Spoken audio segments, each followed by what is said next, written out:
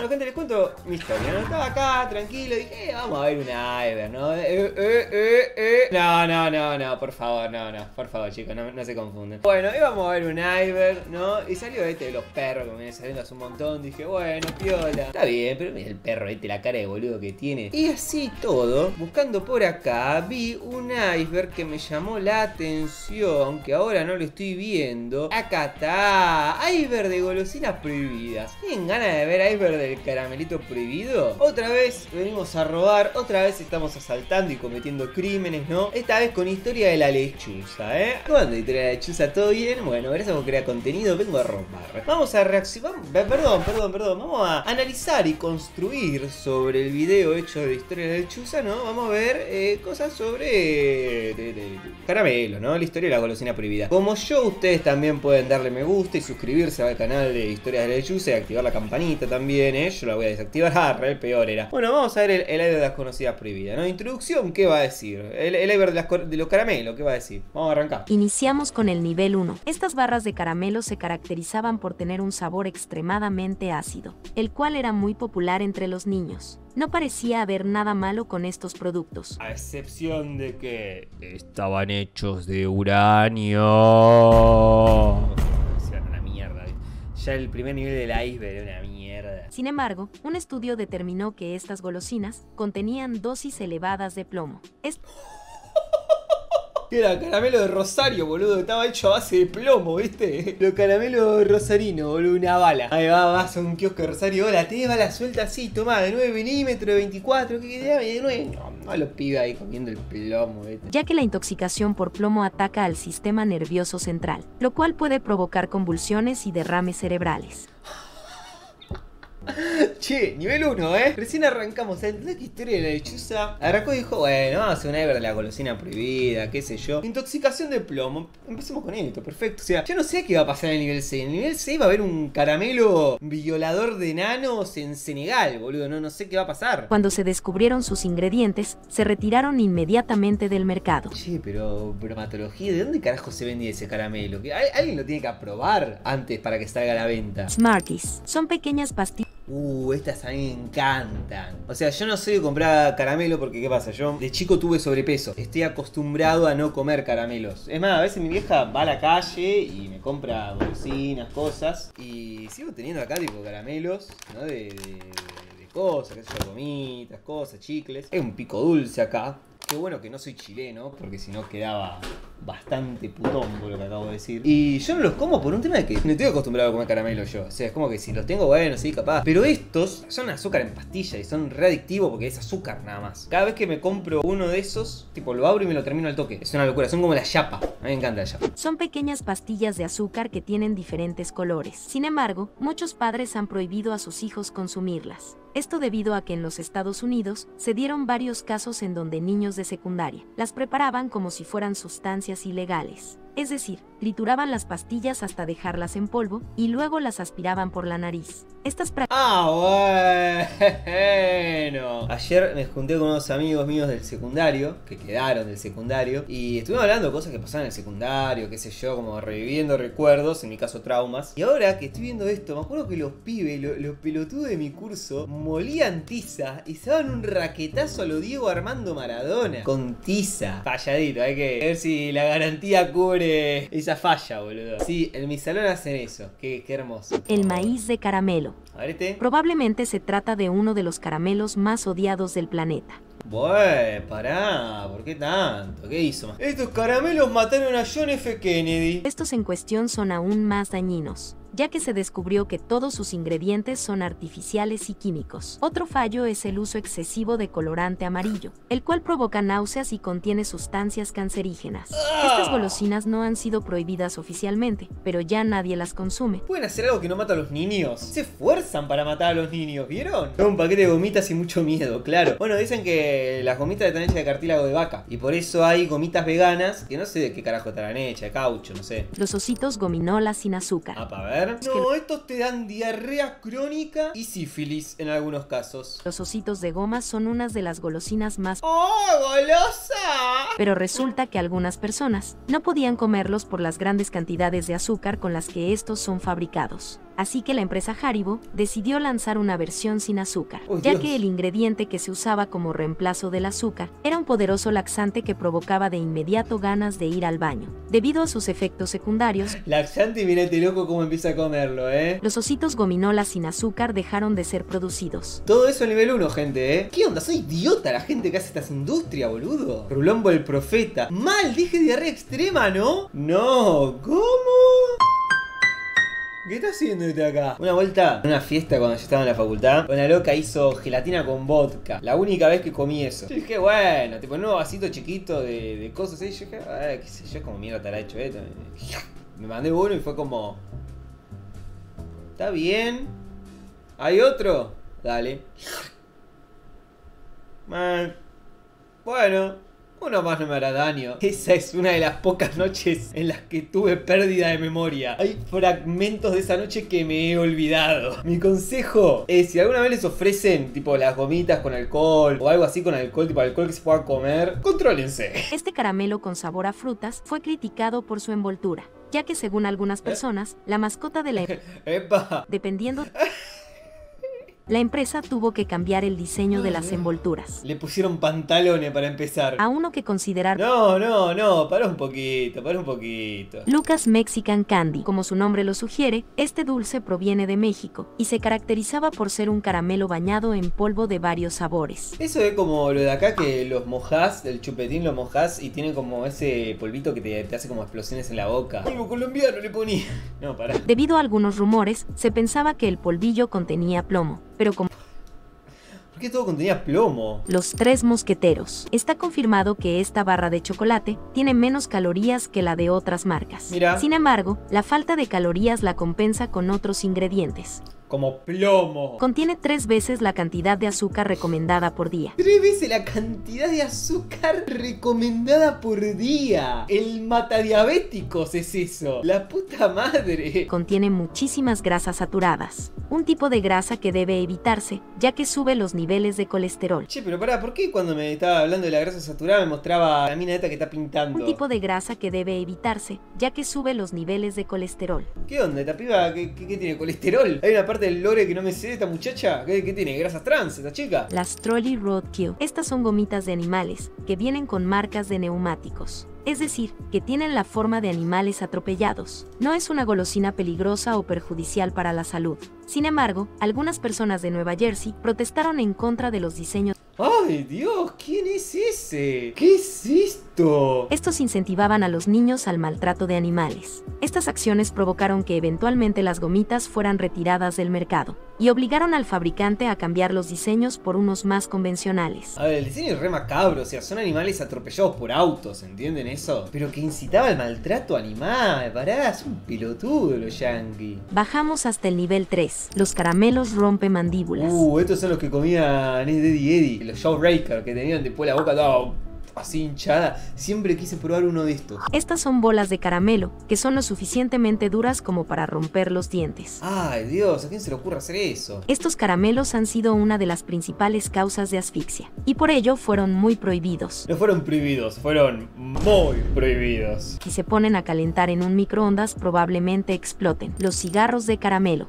Excelente. Dame el caramelo más de 1940 que existe. Como su nombre lo indica, eran golosinas hechas para parecerse a paquetes de cigarrillos, y normalmente estaban hechos de chicle o chocolate. Comenzaron a venderse a mediados del siglo XX, y los fabricantes de cigarrillos incluso ayudaron con la producción de los dulces. Y sí, es como jugar a los nenes que fuman y después cuando crecen compran pucho. O sea, olvídate, es obvio que los magnates de las tabacaleras van a querer a rolete que eso, que eso se Por aquellos tiempos no se hablaba mucho de las consecuencias negativas para la salud que causa el acto de fumar. No fue hasta tiempo después que las organizaciones médicas de todo el mundo comenzaron a ser más conscientes de los ¿Esta que hace SMR de Marilyn Monroe? Banco un montón la dedicación de la muchacha, qué creatividad la puta madre. Estos dulces están prohibidos en varias partes del mundo, por temor a que los niños pasen de estas golosinas a los cigarrillos reales. Esto debido a que un estudio del 2007 determinó que el 22% de los adultos fumadores consumieron cigarrillos de caramelo cuando eran niños.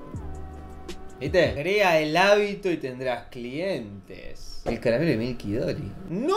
¡El caramelo de Milky Dolly! ¿What the fuck? Estos chocolates Mira, lo abren con un guante. Son los caramelos de Milky, Way, ¿verdad? aunque son muy deliciosos, son perjudiciales para la salud. Contienen grandes cantidades de aceite de palmiste, el cual puede aumentar los niveles de colesterol. Otro problema viene con el caramelo del centro, el cual se adhiere fácilmente a los dientes, y esto aumenta la probabilidad de causar caries mucho más rápido que otras golosinas. Pero lávense los dientes, sucios, asquerosos. También en el año 2016 se encontraron pedazos de plástico en algunas de estas barras. Esto llevó a la empresa fabricante a retirar el producto en 55 países por un tiempo indefinido. Las tabletas de corazones son coloridos dulces de azúcar que, como su nombre lo sugiere, tienen forma de corazón. A pesar de ser dulces inofensivos y hasta tiernos, fueron prohibidos en algunas escuelas de los Estados Unidos, debido a que se comprobó que una sola tableta provoca hiperactividad. Inchequeable, pero ¿qué tan hecho de merca, boludo? Estos yankees son uno- una cosa. Ya, eh, en las escuelas, ¿viste? ¿Vos viste lo que son las escuelas? ¿Cómo vas a tener hiperactividad en las escuelas? ¿Cómo vas a dejar con un pibe te sentado 8 horas de pibe? El pibe quiere correr, quiere hacer ejercicio, quiere moverse, quiere descubrir el mundo. ¿No quiere estar sentado 8 horas en un pupitre? Así cualquiera tiene hiperactividad. Los Laffy Taffy. Estas son golosinas que se caracterizan por ser difíciles de masticar, ya que se quedan pegadas en los dientes. Pero eso no es lo peor ya que tienen como ingrediente colorante artificial y también está lleno de grasas trans, otro tipo de grasas que deben evitarse, ya que pueden provocar problemas cardíacos. No han sido prohibidas oficialmente, pero con el tiempo cada vez menos gente consume estas golosinas. Ah, mirá el chicle, el, el verdadero chicloso, los Flim Puff, mal, ¿no? Pero Rulo, no por nada ya hay tanta obesidad, si comen de todo de chiquito, mal. No, igual eh, también los yankees tienen una dieta de mierda, o sea, desayunan tocino los yankees. Están locos. Es como, bueno, vamos a arrancar el día con la comida más grasosa que existe. Hemos llegado hasta el nivel número 4, los caramelos Warheads. Se trata de unos caramelos que tienen sabores a frutas y son extremadamente ácidos. Dicho ingrediente que les da ese característico sabor ¿Este con qué se dio? Quiero lo que se tomó este, ¿qué onda? La puta madre le causó una parálisis cerebral al tipo. Dicho ingrediente que les da ese característico sabor agrio tiene el nombre de ácido málico y se dice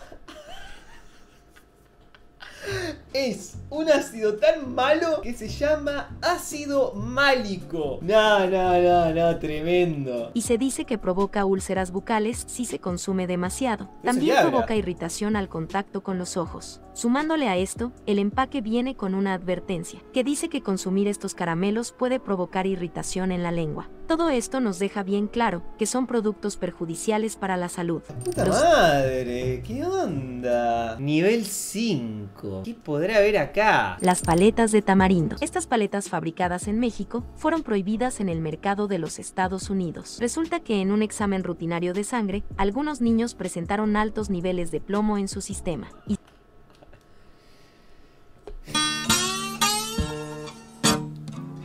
¿En serio vamos a decir que el caramelo mexicano presenta altos niveles de plomo? pastillas dulces chinas.